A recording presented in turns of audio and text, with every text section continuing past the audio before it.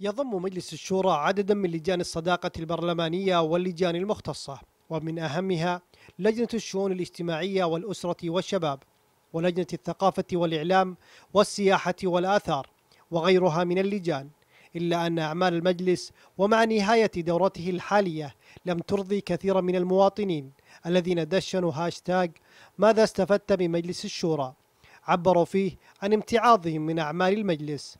التي لم ترتقي إلى الطموحات المأمولة.